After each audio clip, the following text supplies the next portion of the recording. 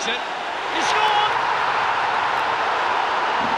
Magnificent free kick from Collins. And Celtic get the reward for a wonderful first half performance. Again. Pratt checks inside McCall. On for McStay. It's a second for Celtic. And another superb goal.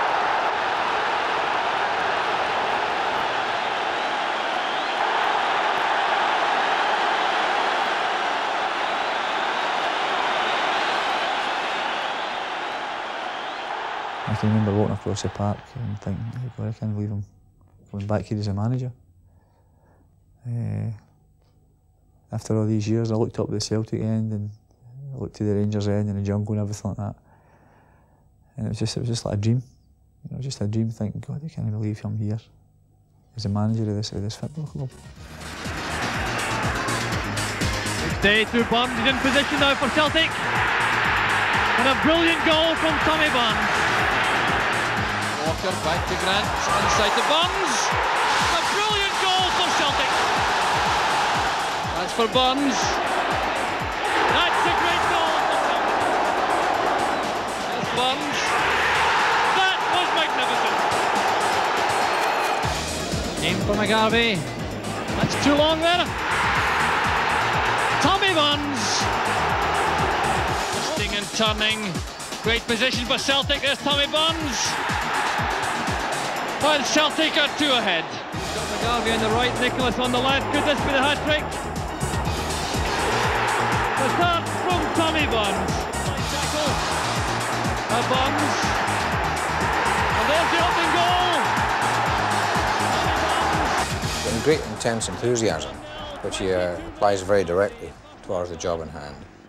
I think he is able to motivate the players, and he transmits that enthusiasm to them. Uh, he has got attracted some very good uh, assistants and, and supporting people in the, his coaching group, and I think uh, he, he's able to impart to them the fact that there's an extra dimension to playing for Celtic, and I think that is coming right through at the moment. You think that the, the club is probably virtually starting all over again. And we've got a new stadium to build. Um, the, the squad of players that everybody kept telling me wasn't good enough. Hadn't won anything for five years, six years, or whatever it was. Um, I suddenly realised that the expectations of people are all there now, and it's it's it's it's fresh, and they'll still expect you to go and win everything because that's what Celtic supporters expect anyway. All taken quickly. Here's Peter Grant. That's intended for Joe Miller. A great interception by Gough. Stevens in trouble. There's Joe Miller. Four minutes from half time. The celebrations begin on the Celtic bench. A dreadful error by Gary Stevens and Joe Miller puts Celtic ahead. No problem there, it would appear, for Gary Stevens, and Miller wasted no time pulling that behind Chris Woods. So here's the smiling figure of Roy Aitken. What a contrast now as Roy Aitken goes up to collect the Scottish Cup. The adulation of the Celtic fans. So it goes right down the line. Billy Stark with the goal scorer. There he is, Joe Miller. He scored in 41 minutes. Peter Grant holding the cup aloft. Then it's with Tommy Burns.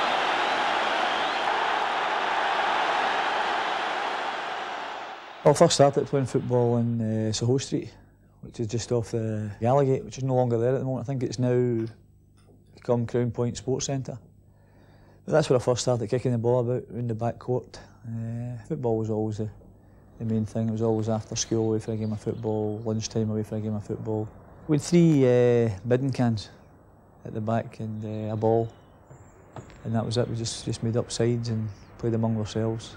And we just used the, the whole midden as a, goal, uh, both sides of the, the back court. And uh, many a good cup final we played there. Uh, as, I got older, the most important thing in, in my life became the, fact that I wanted to be a football player.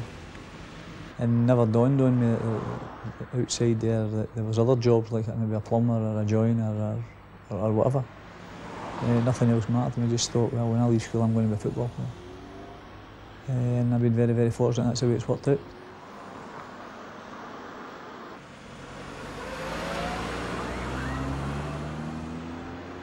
I played with the school, uh, St Mary's, and then uh, the Boys Guild came around about 10, 11 years old. They started a, a Boys Guild team. That was a, a man called John Rice. He was uh, very well known in the Calton area. It was, a, it was a tough area. A lot of very good good people came from a lot of honest people. Um, some of the guys I feel maybe went the wrong road, but I think that was just down to circumstances as opposed to them being, being bad people. Uh, had it not been for John Rice at that time, I possibly went the, the same road as, as many of them. He always kept in my mind, you know, you got to get in there and you got to train and you know, work with the ball and practice and dedicate yourself and everything like that. And he was the guy who got me my first pair of football boots. The route to Celtic Park as manager was, with hindsight, almost inevitable. And he's quickly brought the smile back to the stadium and lifted the spirits of the staff. Good morning, Celtic Football Club. He's drawn on the influences of his youth. The man who became his manager in 1978 was Billy McNeill. He set himself um, very, uh, how shall I say, very strict standards and uh, achieved them. And uh, from a professional point of view, obviously gave himself a longer career than he might have had, and certainly I think made himself a better player by so doing as well. He was one that I was always happy to have in my team because he exuded passion, uh, he had loads and loads of ability, and as I say, he worked very much at his fitness. But I think the most important thing, he was a good leader and, and, and he was a good personality in the dressing room, which is always important. The remarkable fact is that he came close to rejecting Celtic's initial signing offer and taking the route familiar in those days to many talented young Scots, to England. Inspired salesmanship within the stadium changed all that. I'd only been playing with Eastercraigs maybe six weeks. And he said, Ian came to me one day after after a game and says, listen, Celtic, we want you to go and train with them on a Tuesday night. So I thought, God, that's fantastic. I mean, I've only been here six weeks and want me to go and train with Celtic. I said, oh, that'd be, that'd be great. So I went up to, to Celtic Park and trained, uh, and within maybe six weeks, uh, Wally Fernie, who was a, a great, great person, and uh, became a big influence on us at that time. Wally was always giving me stick, saying, you better get your hair cut and everything like that. And then he came in one day, he says, you get your hair cut, he says, I'll get you signed here. So I was a bald man the next week, I went back in again. So I went up with John Rice and uh, my dad up to, to Celtic Park. And at that time, I mean, Celtic, as I say, were uh, European champions and they were qualifying for the, the later stages of Europe every year and everything like that. And it's, you know, the, all of a sudden the whole enormity, the whole thing, I says, well, I'm, going I'm 15 years old, I'm going to get in here and, and sign for Celtic. And say, well, I'm never going to make it here. That was the thing that was right at the back of my mind. It's okay, you know, going in and signing an S form for somebody or whatever, but am I ever going to actually make it here? So I, I took a bit of panic at, at that stage and I said to my dad, you know, you know, Leeds United asked me to go in trials and Everton had asked me could go for trials and everything like that. I thought, maybe we better go in there for trials first and see what actually happens. So I ended up, we said no to them, said no to John Higgins, said no, I'm just, I'm just going to leave it. It was a little panic attack, thinking, oh, I'd never make it here anyway. So we left it, we're coming back up the, the foyer at Celtic Park. And for some strange reason, John Higgins, uh, another lovely man and a real true Celtic gentleman, uh, John says, like, have you seen the trophy room? And that was that was like the clinching thing. As soon as we went in there and seen everything, uh, and I mean, my, my father, God rest him, saying to me, he says, Thomas, you know what you're doing here? This is Celtic you're saying not here. Uh, and I just, I thought about it, says, oh, can't, we can't walk away for can't walk away for this, you know. So we shouted John back in again, and back up into the room, signed the forms, uh, and that was me. That was me, uh, an S form signing with Celtic then. But uh, once I'd signed the thing, uh, I, I, knew I'd done the right thing and I knew that I would make it there because I knew I was going to give everything I possibly could until such times I did make it. And by making it, uh, that was never in my mind that making it with Celtic meant getting into the first team and playing a game or two games or whatever. Always for me, making it with Celtic was getting in there and staying there for as long as I possibly could and winning things as well. And win things he certainly did. Five Scottish Cup winners' medals, one League Cup winners' medal, and six league championships. Titles earned in the company of a host of great Celtic players. They helped to create league memories to savour. Burns. Bowman trying to get back. Trying to work the one-two with McCluskey back to Provan. And that is finishing of the highest class. Davy Provan gives Celtic the lead. That's Con towards the far post. O'Connor's there, but so is Pat Bonner.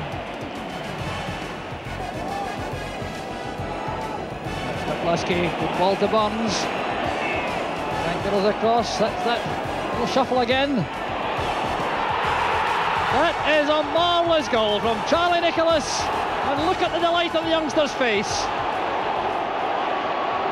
But the credit principally goes to Tommy Burns with that run on the left, the double shuffle getting him to the byline, and the cross leaving Nicholas to nod it home from the six-yard line, leaving John Brough once again totally stranded.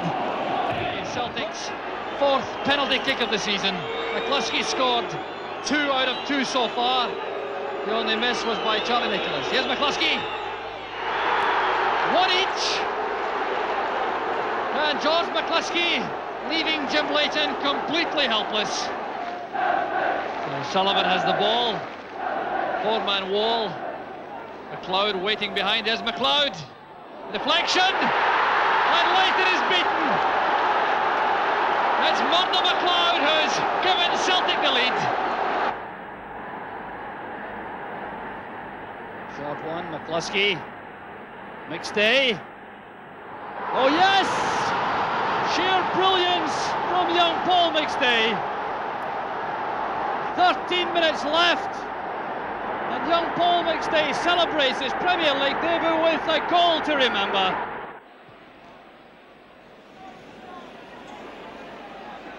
Will they start playing it back to Fitzpatrick and he's caught out by McLeod. Kenny wants it out in the right. His aim for Burns, now McCluskey. Oh, that's a great goal from Celtic. George McCluskey. And the Celtic bench coming out to join in the celebrations. That takes a great deal of the strain off. And what a marvellous goal it was. Created on the left. Beautiful piece of football. The build-up was quite superb, involving McLeod and McCluskey and Burns. And eventually it was George McCluskey striking it into the far post.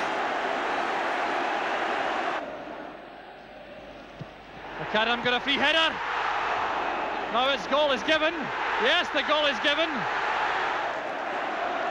Lovely touch again from Burns. Now McCluskey. And that really clinches it all. Great move again from Celtic. And well might McCluskey celebrate. And now it's a procession. The man who started it all that time was Tommy Burns. Great piece of play going forward. The pass to McCluskey was perfection. And so was the finish, leaving Thompson completely helpless. And it's Charlie Nicholas trying to score his seventh penalty kick of the season. 1-0 to Celtic.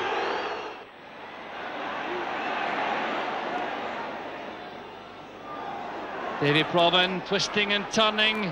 Great position for Celtic. There's Tommy Burns. And Celtic are two ahead.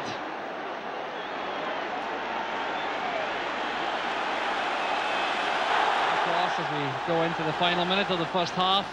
Celtic still pressing for a goal, which would surely make the match secure. There's Provan. Trying to make room for the cross. He's made it all right. Burns. Back across and McGarvey makes it three.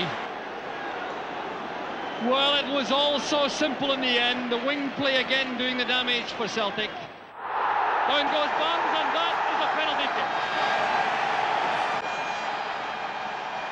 Grant against Rutter. Beautifully taken by Peter Grant. Robin to stay. As for Burns. That's a great goal for. Absolutely superb. For McLeod. Chance for Celtic and there's the third. Motherwell pay with that pass to McLeod. Burns and McGarvey in the middle. There's McGarvey. And there's the opening goal. His fifth goal of the season with just five minutes gone.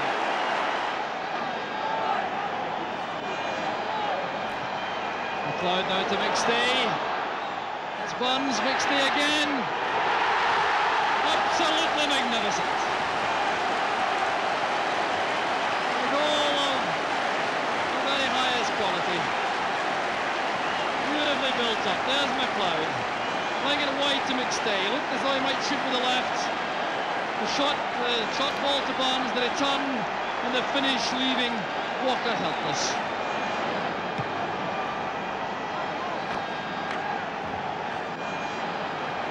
Goal on for Melrose. Teeing it up now for Burns. And that's the thought.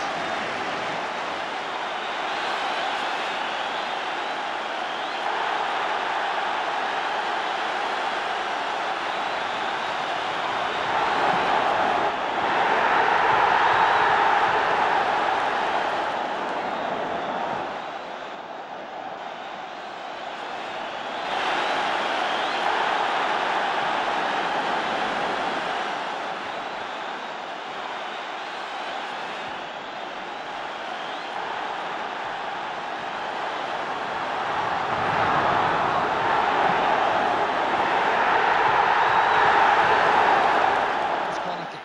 Aitken at the near post. And it's there. Well, Roy Aitken gives Celtic the lead. Burns takes it back from McGrain.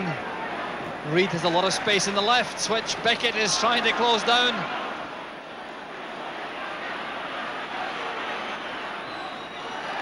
Oh, it's a giveaway to Frank McGarvey. A gift for Frank McGarvey. Being invited to switch the play by McAdam and obliging to find Mark Reid.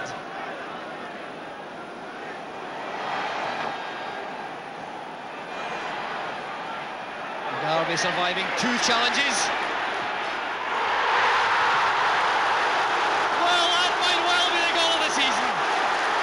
Frank McGarvey, right on half-time, makes it 3-0.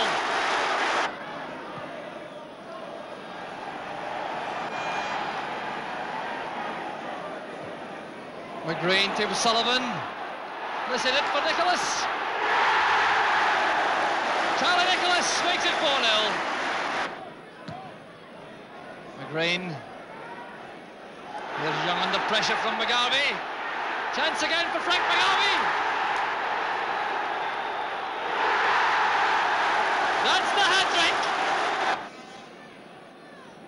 Sullivan back to McGrain. McAdam up to join in the uh, attacking act. This is McCluskey. And that's goal number six.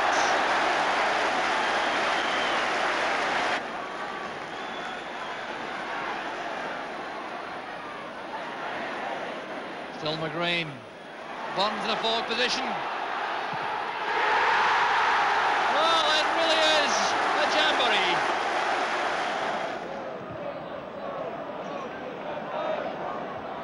McClellan's header collected by McStay. The chance is on for McGarvey.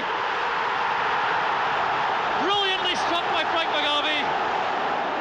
There's Paul McStay again. Whittaker, Barnes. Celtic very patient now, they have the lead. There's Barnes going all the way, and that's a glorious second goal. It's very helpful to any young lad that came in the team. Uh, personally speaking, he was a big help to myself. Uh, let me settle into the team and uh, for the first couple of seasons tried to help me through but once I had my honeymoon period uh, that was it. He let me know when I was uh, not doing the right thing and uh, I think that also helped us as well. There was very few players that I was ever in awe of. It wasn't that you didn't respect them, but there was a certain awe about certain people. I used to get a lift from Danny McGrain in the morning, who was the the, the one exception in the dressing room where everybody was in awe. But uh, the other one that I felt was Tommy Burns. I don't know why, but I always felt shy towards him, and whatever he had to say was worth listening to. Uh, I think it was probably my upbringing of watching Celtic and seeing Tommy, and I think everybody knows what he feels about Celtic, and he showed that as a player. Yet five League Cup finals yielded only one winner's medal in 1982.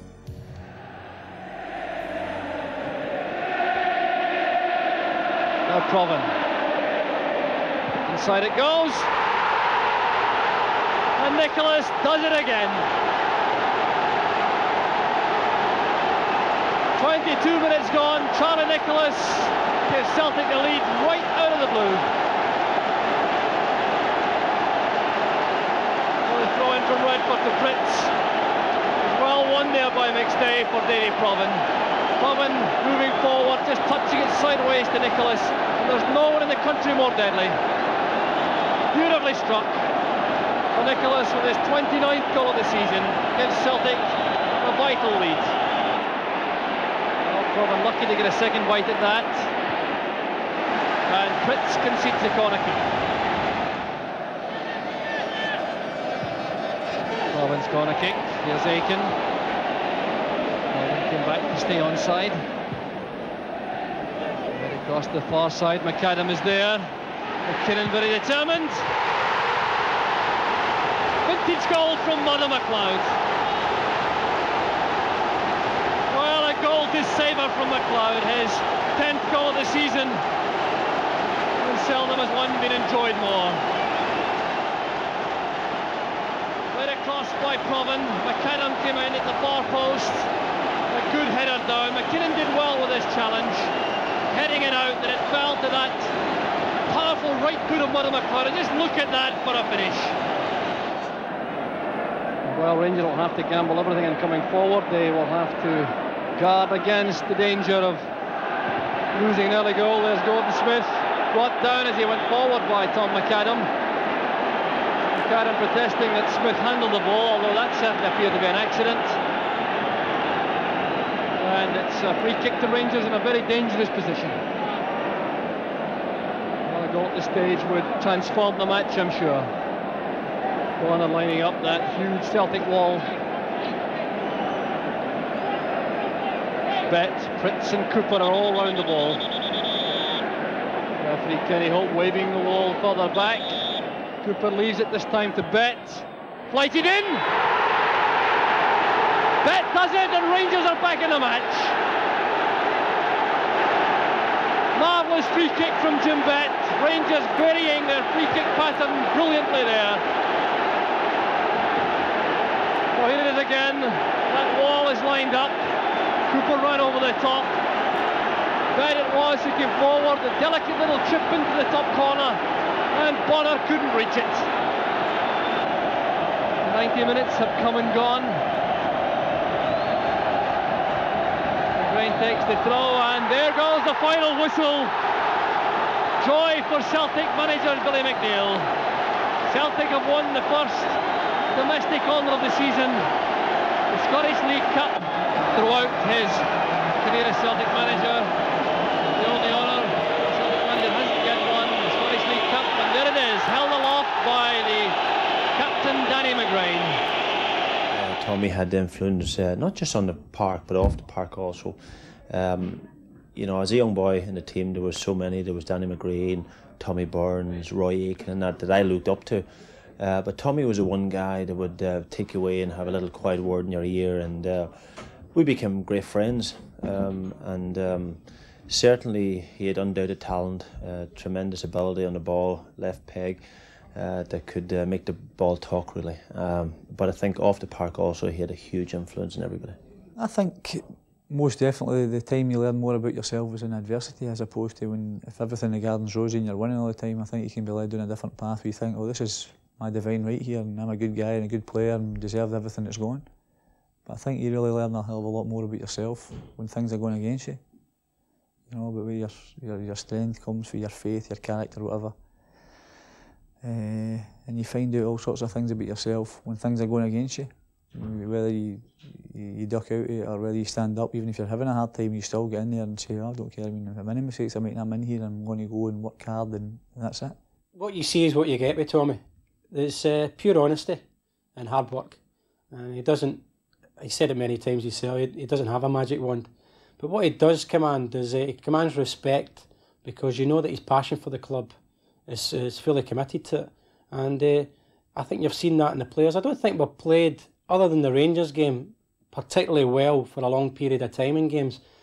Patches were playing good and we're looking a bit more passionate about our game and a bit more pride and hungry.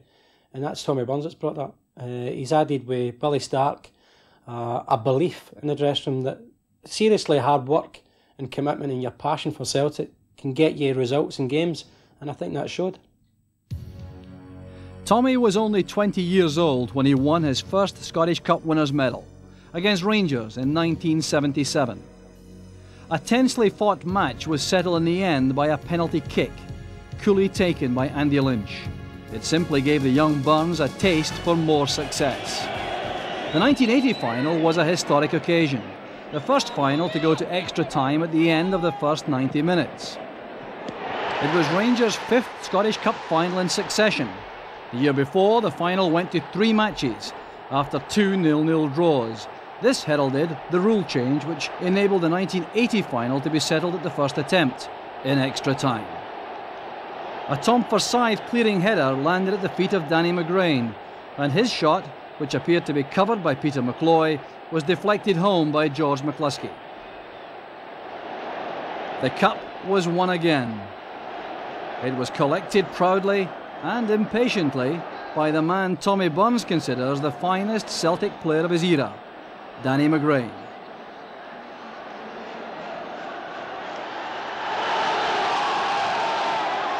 But it's a United free kick. Pat Bonner organising his defence. Milne flights it in. Was won by McAdam again as Hegarty closed in.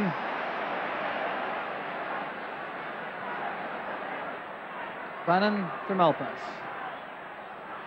There's Dodds. away from Aitken.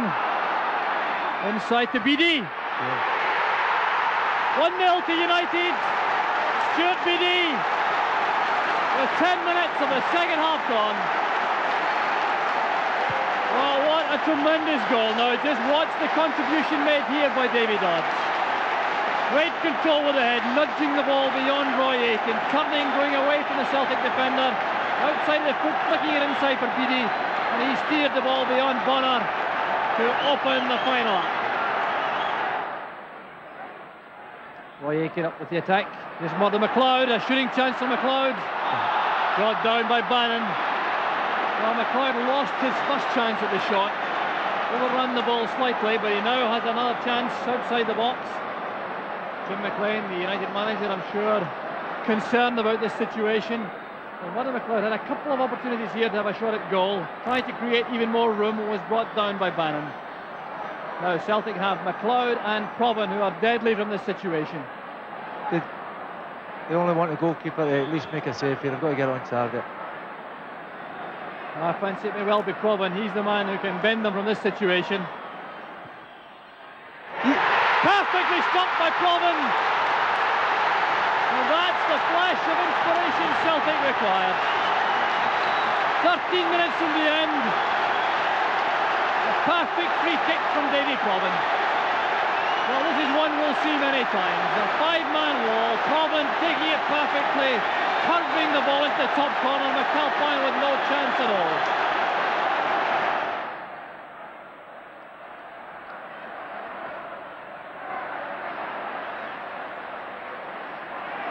The head tennis, finishing with Hegarty's clearance, which oh. Aitken returns. The header from McGarvey! Frank McGarvey! 2-1 to Celtic. McAlpine left without a hope. And this was Roy Aitken's contribution. Winning the ball on the right, now that's a marvellous cross. McGarvey in his own, flying at the ball. The header beating McAlpine comprehensively. So the cup being presented there to Danny McGrain. Tom McAdam. Brian McClair. And the man who won the Mr. Superbit Award, Roy Aitken. Pat Bonner, the Celtic goalkeeper.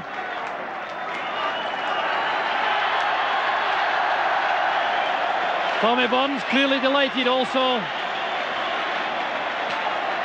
collecting his medal. And happily for United, Kevin Gallagher appears to be none the worse There he goes again, test him now on his pace, taking on Roy Aitken, There's Gallagher! It's a magnificent goal for Dundee United! That was intended for Miller, but it's found Rogan. Good play by Rogan. Equaliser by McAvennie. There's Stark. McAvennie. Frank McAvennie has won the cup for Celtic. So there is the moment the Celtic legions were hoping for. The captain Roy Aitken holds the Scottish Cup aloft. Celtic have won the double. Trying to take on Aitken. The Celtic captain wins it but concedes a throw. Well, no, indeed, it's a Celtic throw taken quickly. Here's Peter Grant. That's intended for Joe Miller. A great interception by Gough. Stevens in trouble. There's Joe Miller. Four minutes from half time. The celebrations begin on the Celtic bench. A dreadful error by Gary Stevens and Joe Miller puts Celtic ahead. No problem there, it would appear, for Gary Stevens, and Miller wasted no time filling that behind Chris Woods. Well, oh, sure- a disaster for Gary Stevens. Is that not the second time in the game that he's given a bad back pass? Gary Stevens, that was dreadful, wasn't it? I mean, the ball just stuck on the, on the grass here and set up for Joe Miller to slot in. Terrible mistake. Well, Gary Stevens will have to overcome that. What a terrible error to make in defence in a cup final. There's the scoreline now. Joe Miller's goal, putting something ahead. But here's Mark Walters. It's off the line by White. A miraculous stop on the line. Rangers hitting back instantly. And suddenly the cup final has come to life. The shot goes beyond Bonner. We fully expected that to go in. And Free kick now to Rangers, which Davy Cooper will take. Gough and Butcher waiting in the corner of the box.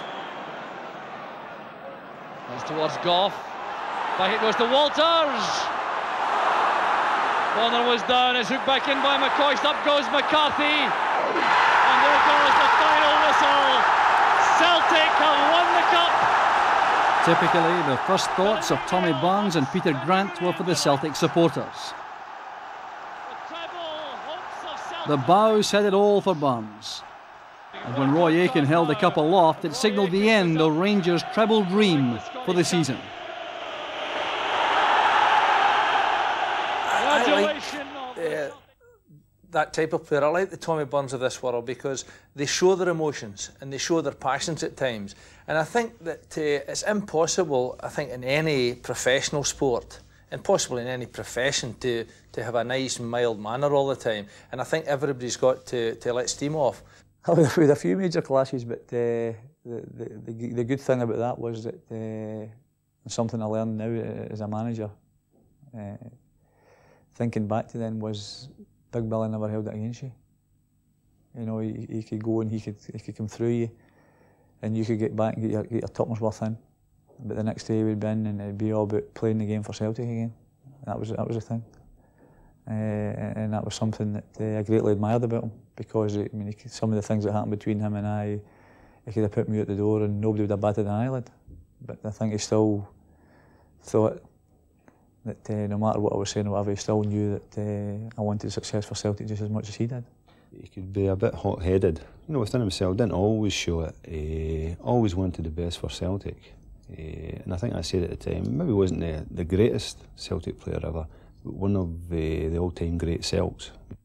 Yet it was another of the all-time great Celts, Jock Stein, who had Tommy's international career in his gift as Scotland manager during the peak Burns years. But he largely chose to ignore him, on all but seven occasions. But his eighth cap was the most memorable, the last fixture against England at Wembley in 1988. He came over to Andy, and I remember him putting his hand on his shoulder and saying, Thanks very much. This means a great deal to me to play against England at Wembley. And on he went for the last 15 or 16 minutes. The memento cabinet within the entrance hall at Celtic Park is graced by Tommy's 1988 cap and jersey, donated after his departure from the club as a player and explained in his letter to Tom Grant. Tom, I enclosed shirt and cap I received for game against England at Wembley 1988. It means a lot to me, Tam, to have something of mine on display at Celtic Park. So many thanks, my friend, for thinking of me as worthy enough to have something of mine on display. Many thanks, Tam. Yours in Celtic always, Tommy Burns. We talk loosely about being a good professional, but if ever there was a good professional, it was Tommy Burns. He was thorough in everything, all his preparation. Late in 1989, Tommy made his last appearance as a Celtic player in a friendly match against Ajax of Amsterdam. Two days earlier, he had agreed to a transfer to Kilmarnock as player, later as manager. Big Billy said, look, look at this game coming up on uh, Wednesday against Ajax. He says, and what we'll do is, he says, we'll put you in there and the first half of the game or maybe the first half an hour.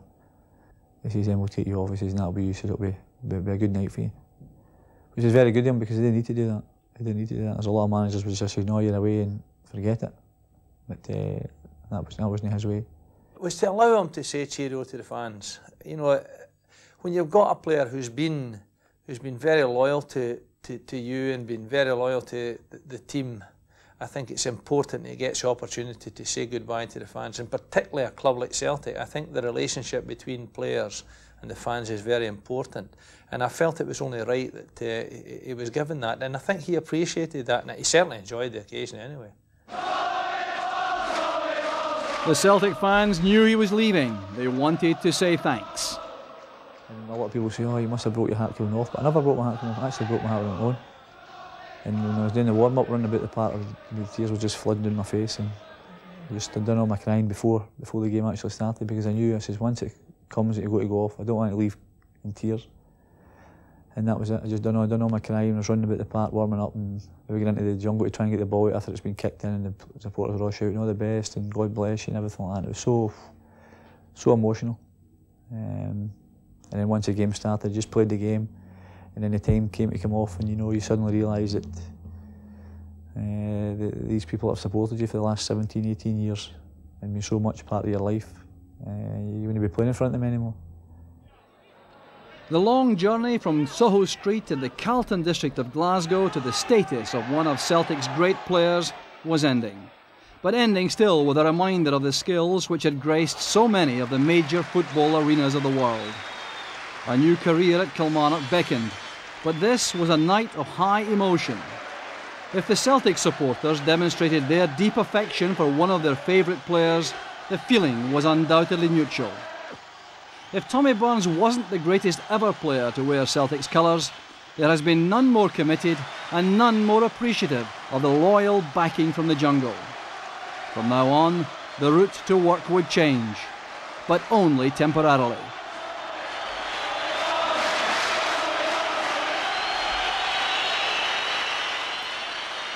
For about a week after it, I can still, I can still remember you know, crying every day, you know, travelling up and down the road, just still, still crying. And coming in here in Rosemary, she wasn't any help to me, she'd be lying the heat greeting as well. Uh, just because it was so important to you know, and I'd been there since I was a boy, really. 15 and I left when I was 33. And all the lovely memories, the lovely people that I'd met there, the people that had supported us all the years, how, how special they'd become and are. And then all of a sudden it ends. But uh, I think when you look at it, you think, well, this is just this is just life, and there's happened to other players as well. And you just got to go on with it, no change in your life. You're just grateful for the, the times ahead there. For Tommy Burns, it's a genuine return to paradise. This time with the immediate destiny of the club in his hands as manager. On match days, this is the referee's room, but during the week, it's where the preparation for training takes place. Wearing a tracksuit among the players on the training ground is where Tommy is happiest. I don't think people realise just how how far they had fallen. You know, to being just another team basically. Uh, the only difference being with Celtic and any other team in the Premier League is the amount of people that go to support you. Um, because uh, as far as the playing side things goes, over the last few years it's been proved that uh, they're not any better. And as I say, the, the biggest difference from Celtic and any other club is the, the support. And it's important that I keep saying that the players realise that as well. I think for so many years now that's been all uh, fragmented and the supporters have had dances and they've had functions and everything like that and players have failed to, to turn up there for whatever reason. They've failed to turn up and all sorts of excuses sent to people. People that pay their wages, pay for them to live in nice houses and drive nice cars, whether they like it or not, that's what, they're the people that pay for it. And we cannot treat them with anything other than the greatest respect we possibly can. And if that means going out to a supporters function half a dozen times a year, or 10 times a year, or 12 times a year, they'll never be better looked after. They'll never be better looked after in any company than what they will be in among Celtic supporters. The Lisbon Lions. For some, a spectre haunting the Celtic of today. For Tommy Burns, they were the heroes of his youth, an inspiration, and a reminder of past glories he would like to emulate. Looking at the Lisbon Lions when I was maybe 15, 16, 17 years old, uh, they were the people that we wanted to emulate. We wanted to be the, same, wanted to win the European Cup, wanted to win the leagues constantly, uh, win trophies consistently, as they done. Um, they, they, they'll never be forgotten among the Celtic people anyway. I don't think they ever should be. I mean, I've got a fantastic life-size picture of Jimmy Johnstone dribbling against Rangers up in, in my, my, office at Celtic Park. Fantastic picture with Bobby Lennox just running along in the background. And because these were the people that were the, right at the very heart of the club and it was at its most exciting, at its best ever time. Uh, and that is a standard that we have got to try and get back to. And I know it looks a million miles away from now, at this stage it looks as if we're a million miles away from it. But I'm sure in the 1920s and 1930s uh, it looked a million miles away for those people. And then all of a sudden it comes and it gets there with hard, hard, hard work and people that are committed to the people that support the club and they want to go and give everything they possibly can to play for Celtic. And that is something that we want to make sure we get right through from the youngest guy, if they're 11, 12 training with Celtic, right through to the oldest player. Every one of them knows who they're playing for and what, what that means. Packy! Packy, you can start them off there. Shooty, Cabs, you're in there against Paul McStay and John Collins. So you've got to work them. I don't uh, like to go into the, the, the, training field and sort of give a philosophy to the players that, you know, this is the way it should be and don't care what any say, this is it and this is the way it's going to be. I mean, I think uh, basically, I mean, I'm not that much older than a lot of the players that's there. And I can certainly let them have their, their point of view and their say or whatever. Um, but I've got my own ideas. Uh, Billy and I have got our own ideas of how we think the game should be played. Um, both when we've got the ball and we've not got the ball. And it's basically just, just trying to put a bit of organisation into that, into the defensive side of things. Oh, Going forward, try to give them as many options as we can. Try to tell them uh, about the movement you're looking for when you're a successful team, all down to movement, how you move players about and everything. You know, there's no watching it and me drifting here and you're the forward, me drifting here and all of a sudden you're in. Yeah, that's it. That's the difference. That's the difference. You know, taking up your position properly.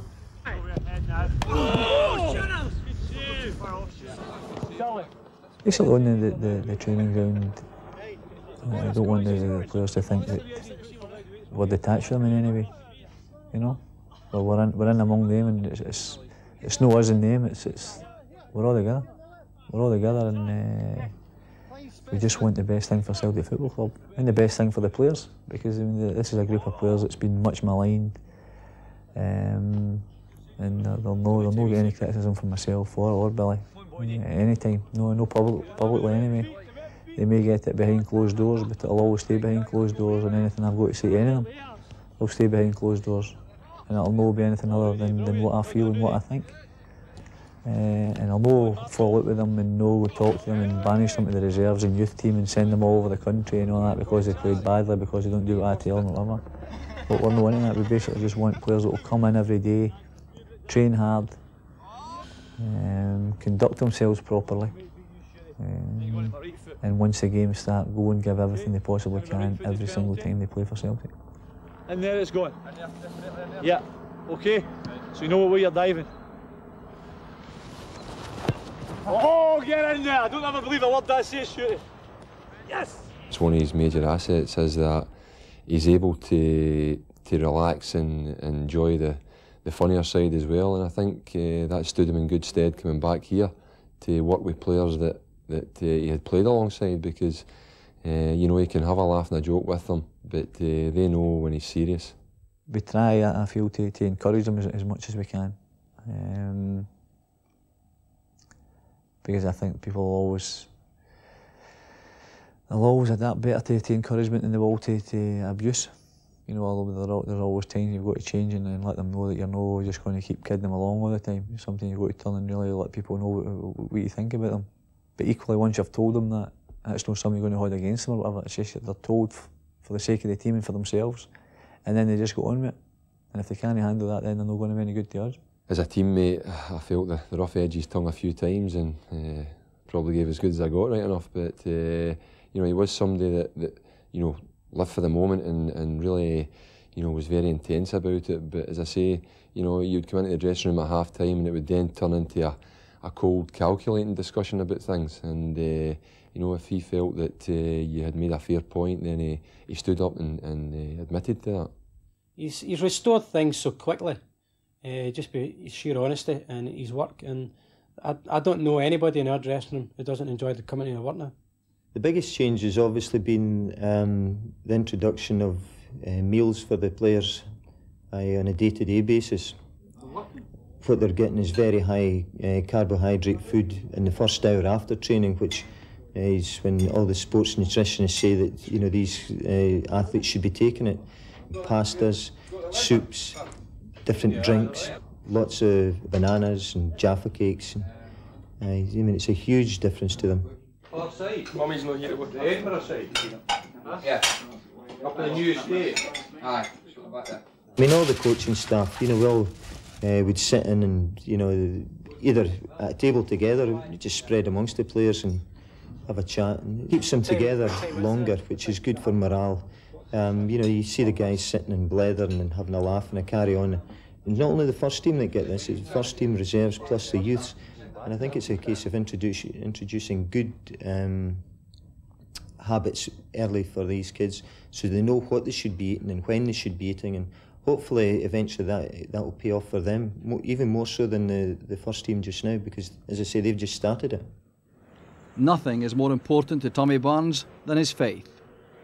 In the morning before I go to, to training, I go to the, the 8 o'clock, 8 o'clock mass there.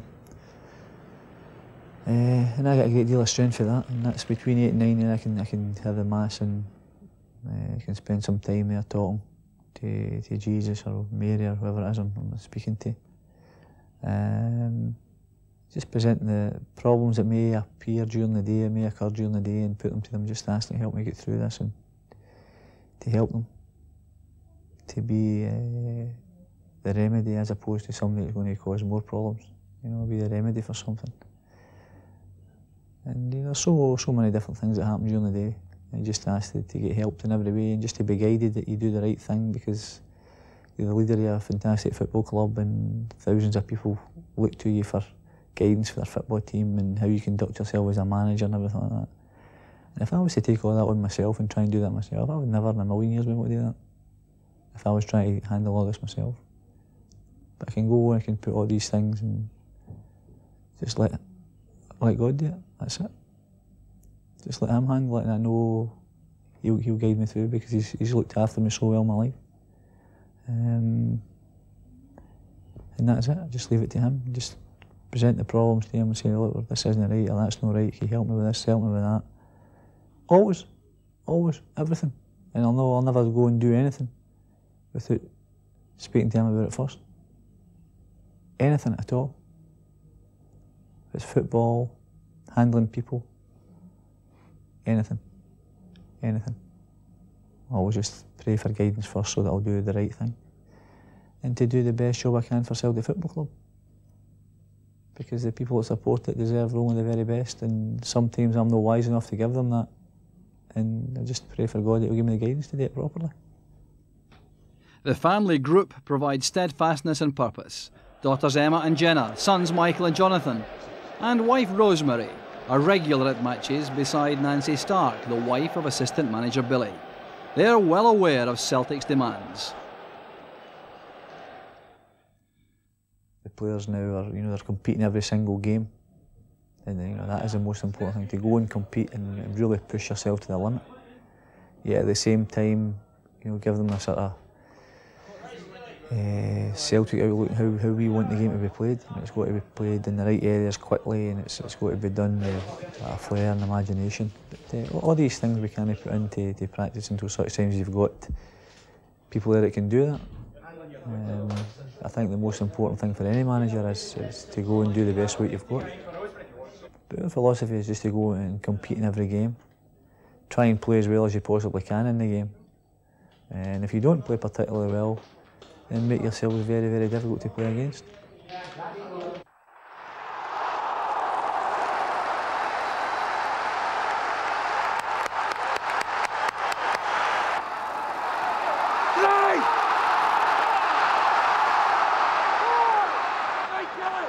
Yes, Scotty, yes, Scotty.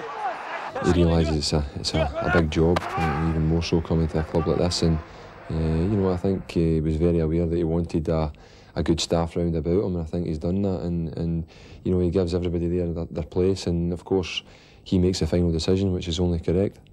Up the line, up the line. That's it, boy. The whole place has uh, got a buzz about it now. Everybody's enjoying uh, everything that's going on here. Even when he was young, he had, uh, he had a good idea of the game and he talked about the game uh, incessantly. And uh, when he got older, obviously he put all his knowledge um, into his managerial, uh, his first job anyway. Um, he learned from the players was, or the managers really that was around about him, and the senior players. He took everything in.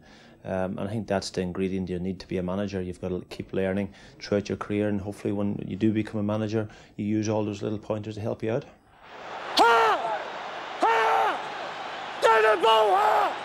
It was important we got somebody with uh, who knew a bit about the game and who knew about Celtic. And uh, the most important thing, he came in, motivated the players, made the players believe in themselves, and uh, I think that was maybe the turning point. Uh, there's plenty of ability here, and he just made the players believe in their own ability. You need somebody to come out tails the ball. He gets here, peel off tails the ball, and he plays it in you, that's you coming out to get it. And if the guy comes out you can play him in, if he stays there, you've got plenty to go and make it happen. Five minutes, you know. Enrique! Andy! Andy! Come and show! Sid! Ha! Ha! Close and face of the goal, man! Sid! Sid!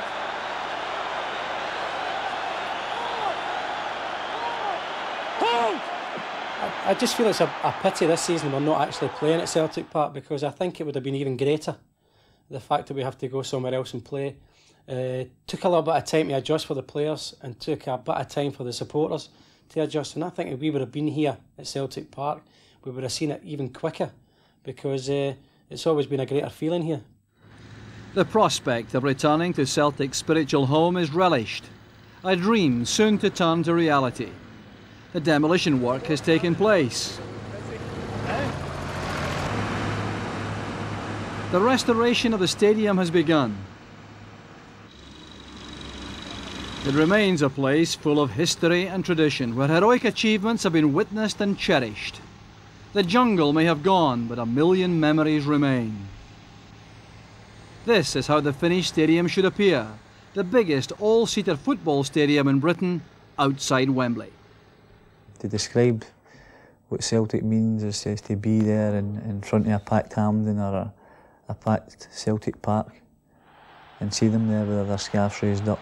Uh, and incredibly, the, the, the, most moving times for me have been when we've been getting beat.